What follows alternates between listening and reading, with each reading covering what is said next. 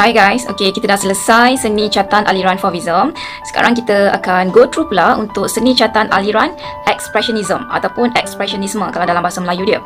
Jadi bila aliran ni bermula, ia bermula pada abad 1905 sehingga 1925 which is dalam tempoh 20 tahun. Jadi kalau sebelum ni, aliran seni catatan Fauvism bermula di Perancis. Bila masuk kepada Expressionism, aliran seni catatan bermula di Jerman di mana tokoh-tokoh kebanyakan adalah daripada Jerman. Seni catatan aliran Expressionism ini dia dah berkembang sepanjang abad ke-19 sehingga awal abad 20. Bermula di Jerman dan dipelopori oleh uh, beberapa tokoh yang masyur. Ernst Ludwig Kirchner. Yang kedua adalah Erich Heckel. Yang ketiga adalah Carl Schmidt Rudloff. Jadi tokoh-tokoh pelopor seni catatan Expressionism ini mereka ada joint venture ataupun bergerak bersama dengan satu kumpulan ini disebut sebagai Die Brücke ataupun The Bridge dalam bahasa Inggeris pada tahun 1905 dan base-nya adalah di Dresden, Jerman. Antara pelukis-pelukis lain yang turut serta dan masyur dalam aliran Expressionism ini antaranya adalah Edvard Munch Edvard Munch ataupun kalau dalam bahasa Inggeris disebut Edvard Munch, Wassily Kandinsky, Paul Klee, August Macke, Franz Marc, seterusnya Amedeo Modigliani, Gabriele Munter. Macam mana sebut tu? Ha? Amadeo Modigliani, Gabriele Munter. Amadeo Modigliani, Gabriele Munter. Amedeo Modigliani, Gabriele Munter. Cuba sebut. Amedeo Modigliani, Gabriele Munter dan Henrik Campendong. Dan Henrik Campendong. Heinrich Ampendonk. Okay, cuba kita sebut semula senarai nama yang telah cikgu kongsikan bagi tokoh-tokoh aliran Expressionism tadi. Yang pertama adalah Ernst Ludwig Kirchner. Ernst Ludwig Kirchner. Yang kedua adalah Erich Heckel. Erich Heckel. Yang ketiga, Carl Schmidt Rudloff. Carl Schmidt Rudloff. Yang keempat, Wassily Kandinsky. Wassily Kandinsky. Kelima, Paul Klee. Paul Klee. Yang keenam, August Macke. August Macke. Tokoh yang ketujuh, Franz Marc. Franz Marc. Tokoh ke-8, Amedeo Modigliani Gabriele Munter. Amedeo Modigliani Gabriele Munter. Dan tokoh yang ke-9 adalah Henrik Campendong. Henrik Campendong. Bagaimana kita nak kenali karya catatan bagi aliran Expressionism? Jadi untuk makluman, pelukis atau penggiat seni catatan bagi aliran ini gemar menggunakan warna yang terang, warna yang legap yang untuk menunjukkan mesej secara dramatik. Sama seperti Fauvism sebelum ini, penggiat seni catatan pada aliran Expressionism juga menolak ciri-ciri catatan klasik aliran realisme ataupun realism dan mereka ini lebih cenderung menghasilkan gaya seni catatan secara terjemahan manifestasi perasaan dan keresahan emosi pelukis. Berbeza dengan seni catatan aliran Fauvism yang lebih mengutamakan ekspresi pelukis dalam berkarya. Jadi sudah pasti karya catatan aliran ini lebih kepada menggambarkan perasaan secara bebas dan spontan. Jadi hasil daripada aktiviti pembacaan yang cikgu jalankan, cikgu dapat uh, mengenali sebersedikit biografi kita punya pelukis atau ataupun tokoh yang masyur iaitu Edvard Munch. Jadi tokoh kita yang pertama iaitu Edvard Munch dilahirkan pada 12 Disember 1863 di Adalsbrook, Norway. Antara karya catatan beliau yang masyur terkenal di seluruh negara sepanjang zaman sehingga hari ini,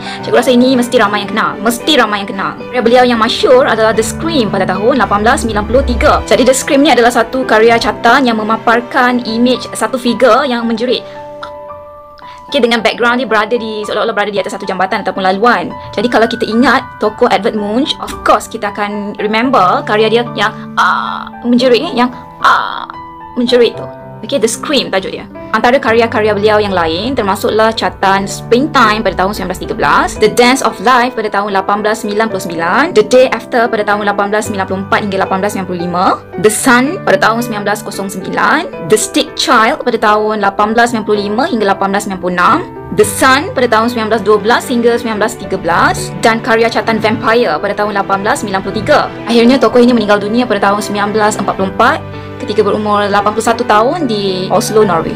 Cikgu kongsikan sedikit supaya menjadi inspirasi bagi seorang murid yang minat menghasilkan karya dan melaksanakan aktiviti penghasilan seni visual yang berangan-angan untuk menghasilkan karya untuk dipamerkan. Karya The Scream yang dihasilkan oleh Edward Munch pada tahun 1893 ni, ia sebenarnya peristiwa yang mencatat sejarah dalam perkembangan seni visual di seluruh negara di mana karya The Scream ni pada tahun 2012 2012 dijual secara lelongan dijual secara lelongan dengan harga 120 juta US dollar 1 juta 1 and then ada 6 angka kosong kalau 120 juta 120 tambah 6 angka kosong kat belakang. Kalau convert kepada duit Malaysia, harga 120 juta tu berapa nilai dalam ringgit Malaysia? Bernilai 483 juta 360 ribu ringgit Malaysia. Hmm, satu nafas. Itu nilai harga catatan cat minyak The Scream yang dihasilkan oleh Albert Munch pada tahun 1893 dan dijual pada tahun 2012. Ia mencatatkan sejarah dalam lelongan karya seni visual di seluruh negara. Okay, now cikgu akan kongsikan tokoh kedua seni catatan aliran Expressionism yang cikgu dah kenali hasil daripada aktiviti pembacaan yang telah cikgu jalankan iaitu Vasily Kandinsky. Vasily Kandinsky. Tokoh kedua yang cikgu kenali bagi aliran seni catatan Expressionism. Vasily Kandinsky ni dilahirkan pada 4 Disember 1866 di Moskow, Rusia. Tokoh yang pertama tadi Edvard Munch di Oslo, Norway. Tokoh yang kedua Vasily Kandinsky di Moskow, Rusia. Vasily Kandinsky ni dia memegang title dia yang tersendiri which is dia digelar sebagai pelopor seni lukis abstrak. Antara karya catatan beliau yang masyur adalah Der blaue Reiter. Der blaue Reiter. Blaue Reiter. Okey, itu kalau kita sebut cara orang Moskow, Rusia. Di dalam bahasa Inggeris, dia dipanggil sebagai The Blue Rider. The Blue Rider ataupun penunggang biru dalam bahasa Melayu.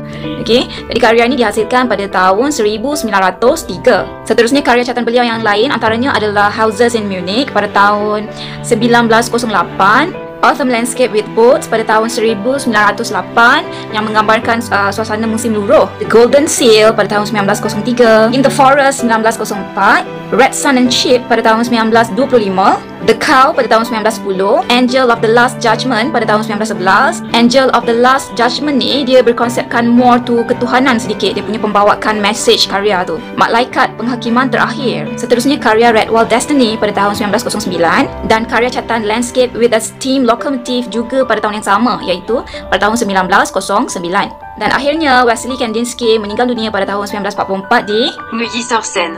Neuilly-sur-Seine. Neuilly-sur-Seine Okey, satu tempat di Perancis. Seterusnya, pelopor seni catatan aliran Expressionism yang cikgu kenali ialah Paul Klee. Paul Klee. P-A-U-L-K-L-E-E. Paul Klee. Paul dilahirkan pada 18 Disember 1879 di Switzerland. Antara karya catatan yang terkenal adalah Cat and Bird 1928, Castle and Sun juga pada tahun 1928, Twittering Machine pada tahun 1922, Flower Myth pada tahun 1918, Angelus Novels pada tahun 1920, Fish Image pada tahun 1925, Strong Dream pada tahun 1929, Refuge pada tahun 1930, Fish Magic pada tahun 1925, Nocturnal Festivity pada tahun 1921 dan yang terakhir adalah karya catatan Death and Fire pada tahun 1940. Death and Fire ni kalau dalam bahasa Melayu dia maksud dia apa? Kematian dan kebakaran. Dan finally, Paul Klee meninggal dunia di Muralto, Switzerland pada tahun 1940. Jadi kalau tadi Edward Munch meninggal dunia ketika usia 81 tahun, Paul Klee meninggal dunia dalam usia yang lebih muda which is uh, 61 tahun.